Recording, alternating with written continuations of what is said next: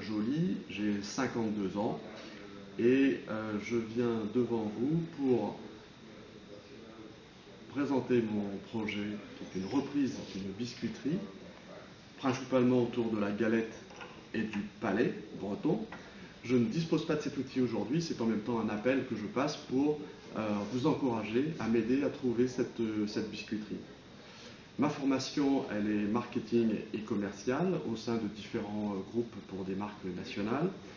Ce qui me caractérise le plus, c'est, je dirais, la curiosité, l'enthousiasme, le volontarisme dans l'action, tout ça dans le cadre d'un plan à, à long terme structuré. Les facteurs clés de la réussite sur cette reprise d'entreprise, c'est d'une part la qualité, d'autre part l'innovation, et les compétences que je vais pouvoir apporter dans ce schéma, c'est d'une part euh, mon expertise personnelle sur le secteur du marketing, du commercial et de la communication, mais aussi euh, de s'entourer euh, pour l'innovation d'un chef pâtissier et pour la qualité d'un responsable qualité.